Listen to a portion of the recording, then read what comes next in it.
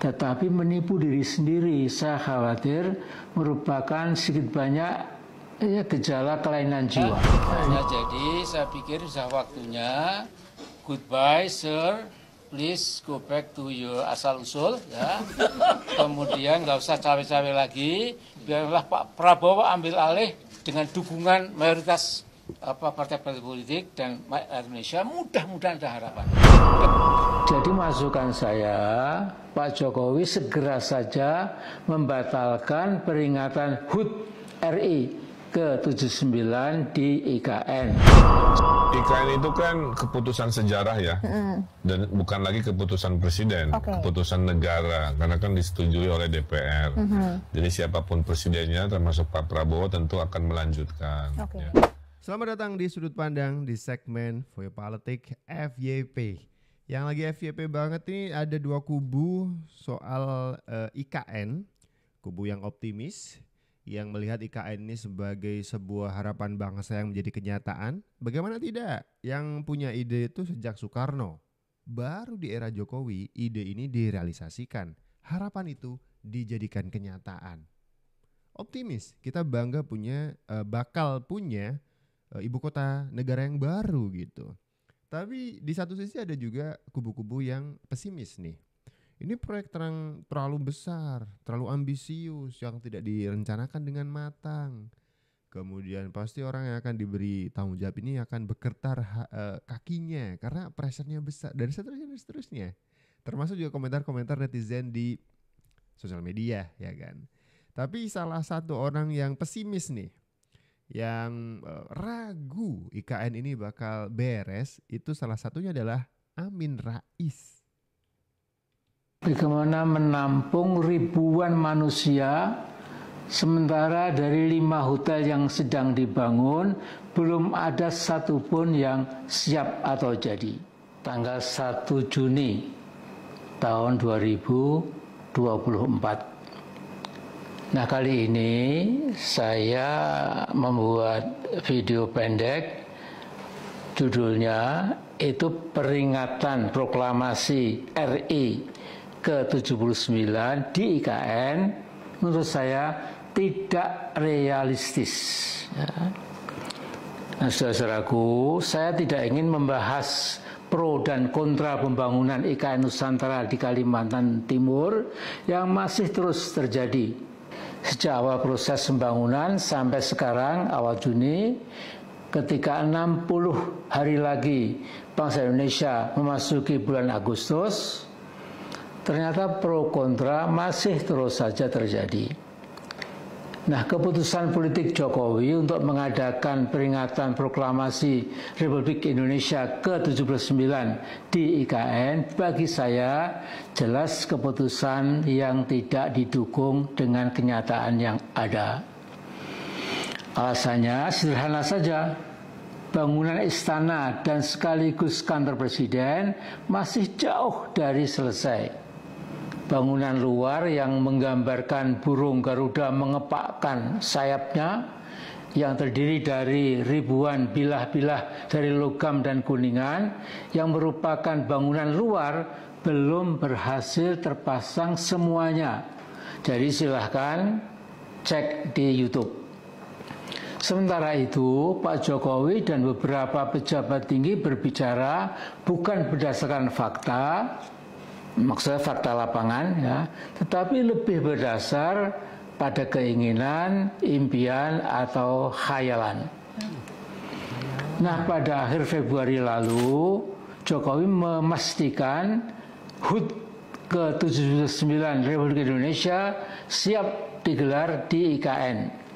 Pernyataan yang sungguh gegabah karena sudah puluhan kali Jokowi meninjau calon istananya dan puluh-puluh kali meresmikan groundbreaking buat gedung ini, buat gedung itu ya. Mestinya ia tahu seperti apa perkembangan calon istananya yang dia bayangkan bangunan yang anggun, kokoh, elok, cantik, indah, kemudian juga unik ya. paling top markotop di planet bumi. Ya, itu gambarannya Mas Jokowi. Ya. Tapi tidak terjadi. Ya. Bahkan lebih serampangan lagi, Mensesnek Pratekno memberi arahan akan ada 2000 peserta dan undangan umum yang akan diundang 17 Agustusan ke-79 di IKN Nusantara. Tetapi yang paling mengerikan adalah omongan Kepala Otorita IKN, Mas Bambang Susantono yang mengungkapkan saya quote, setidaknya 6.800 orang bakal diundang dalam upacara yang sangat bersejarah itu. Maklum, pertama kali upacara lokasinya di IKN itu merupakan ya upacara yang khidmat, sakral, dan tidak dapat dirubahkan seumur hidup.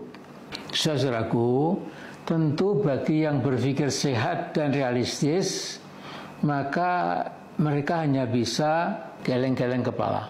Bagaimana menampung ribuan manusia sementara dari lima hotel yang sedang dibangun belum ada satupun yang siap atau jadi.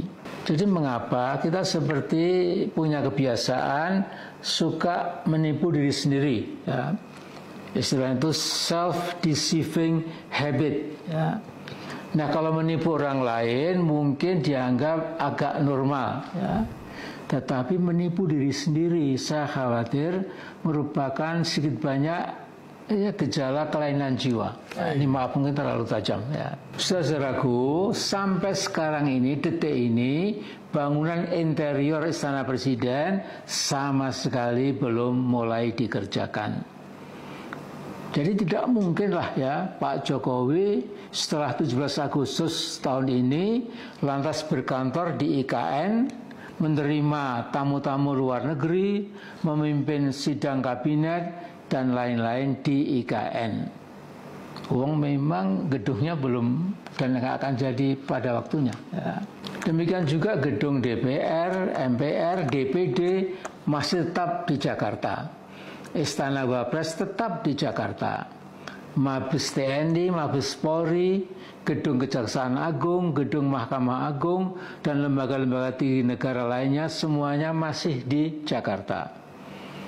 Jadi masukan saya, Pak Jokowi segera saja membatalkan peringatan HUT RI ke-79 di IKN supaya kita tidak jadi laughing stock atau bahan ketawaan dunia internasional.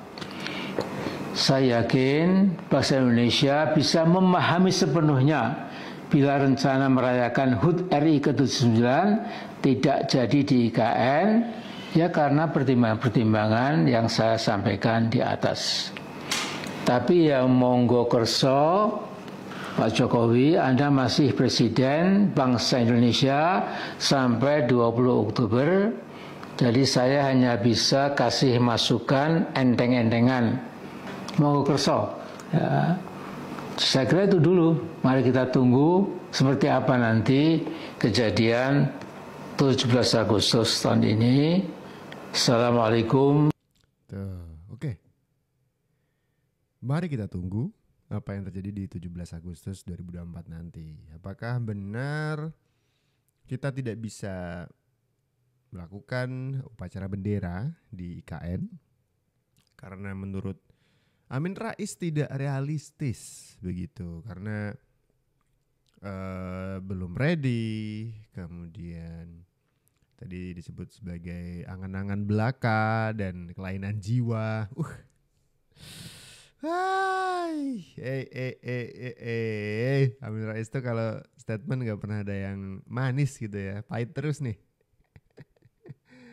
Hmm, ya oke okay lah, boleh. Ini satu masukan untuk presiden mungkin bisa dipertimbangkan.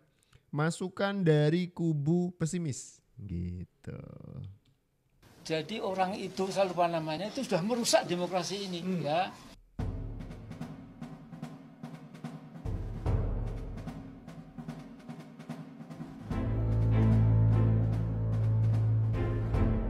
Apalagi nih Amin Rais nih, turun gunung Amin Rais.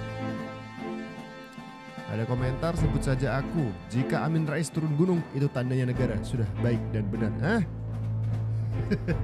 Keren sedang tidak baik-baik saja. Jadi semua mengatakan ada backsliding demokrasi, blunder ya. Bahkan ada mengatakan apa namanya race to the bottom ya. Gara-gara demokrasi yang rusak ini semua lantas perlombaan untuk masuk ke jurang yang paling dalam ya. Nah, saya nyebut nama, ini memang sosok seseorang yang nampaknya tidak mengerti demokrasi ya. Semua diambil alih ya. 94 persen DPR juga agak keenakan diambil alih ya. Mungkin juga salah beliau-beliau juga ya. Nggak tahu ya. Kemudian lembaga-lembaga tinggi juga dijinakkan dioptasi salah ya. pada di lantas semua nyanggih-nggih saja sekarang seperti ini keadaannya ya untuk ingat ya merusak itu lebih mudah ya. Untuk membangun itu lebih berat. Jadi orang itu saya lupa namanya itu sudah merusak demokrasi ini ya. Nah jadi saya pikir sudah waktunya. Goodbye sir. Please go back to your asal usul ya. Kemudian nggak usah cawe-cawe lagi. Biarlah Pak Prabowo ambil alih dengan dukungan mayoritas apa partai-partai politik dan rakyat Indonesia mudah-mudahan ada harapan. Udah itu saja. Assalamualaikum. Saya tahu nih, Amin Rais sedang menyinggung Joko Widodo. Iya, itu benar. Tapi di akhir kalimatnya adalah mendukung Pak Prabowo. Hmm. Apakah dari zaman Pilpres kemarin ini termasuk suara-suara yang positif mendukung Prabowo? Sepertinya tidak ya. Sepertinya sih se- seingat saya sih tidak. Sinyal apa nih? Hey, sinyal apa nih? Tiba-tiba mendukung. hey. IKN itu kan keputusan sejarah ya, dan bukan lagi keputusan presiden, Oke. keputusan negara, karena kan disetujui oleh DPR. Jadi siapa pun presidennya, termasuk Pak Prabowo, tentu akan melanjutkan. Oke. ya. Dan IKN ini kan bukan ide Pak Jokowi loh. IKN ini dari zaman Belanda udah ada sejarahnya itu dulu IKN itu mau pindah ke Bandung. Oh, Sebagian kementerian udah pindah tuh ke Bandung. Keburu Jepang datang tahun 42. Bubarlah IKN-nya pemerintah kolonial. Bandung nggak jadi jadi IKN kan. Zaman Bung Karno idenya di Palangkaraya kan. Cuma nggak ada duit baru merdeka, nggak ada. Zaman Pak Harto mau ke Jonggol, Bogor kan. Keburu reformasi.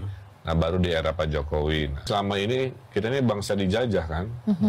Istana presidennya aja kan warisan penjajah. Iya. Jadi kalau dari sisi maaf ya, dari sisi kebangkitan, pindah IKN itu momentum bahwa dari konsep bangunan semua adalah representasi Nusantara. Maka di Istana Negara Presiden nanti ya, itu ada ruangan Papua, ruangan Bali, ruangan eh, apa gitu. Tapi kan kalau di Istana sekarang kan itu kan Yunani, Romawi, Iya, iya, iya. ngerti nggak? Bangunan kolonial yang eh, arsitektur Barat, saya kan Iya. arsitek gitu ya. Ya. Jadi mas, tanda kutip per hari ini masih kayak terjajah aja kan oleh oleh bangunan warisan itu. Jadi saya ngomong politik dulu sedikitnya karena ada hubungan. Oke, oke. Gara-gara 02 menang investor jadi banyak gitu. Oh, gitu. Oh. Ada hubungan ternyata. Jadi gitu. waktu sebelum pilpres tuh pada nunggu. Jadi kerangkring-kerangkring justru pasca pilpres. Hmm. Gara-gara yang menang adalah kubu 02 di Pilpres dengan jargonnya melanjutkan keberlanjutan itu jadi sinyal bagus untuk para investor yang kemudian bisa masuk ke progres atau proyeknya proses proyeknya IKN. Karena mungkin karena dibangun di zaman Jokowi ketika nanti penggantinya itu tidak linier dengan apa yang dilakukan Jokowi, investor akan kelabakan ya kan tiba-tiba banting setir aja tuh presiden yang baru kan gitu. Tapi karena Prabowo yang menang dengan jargonnya keberlanjutan, pasti IKN juga akan jadi eh, fokus utama di pemerintahan Prabowo nanti. Makanya ini jadi kepercayaan diri investor untuk memasukkan investasinya di IKN. Wah, saya setuju sih, saya setuju. Ini sinyal bagus, sinyal bagus. Apalagi juga wakil dari Prabowo Subianto adalah Gibran Raka Buming Raka. Masih representasi Pak Jokowi juga nih, walaupun kebijakan di tangan presiden ya. Paling tidak dengan eh, jargon dan hubungan baik Prabowo dengan Jokowi, ini akan menjadi sinyal bagus para investor untuk tetap bisa pede untuk memasukkan investasinya ke IKN. Oke, segitu dulu video kali ini di FYP Your Politics. Kasih komentar di bawah kalau kalian punya komentar tentang IKN, tentang Amin Rais.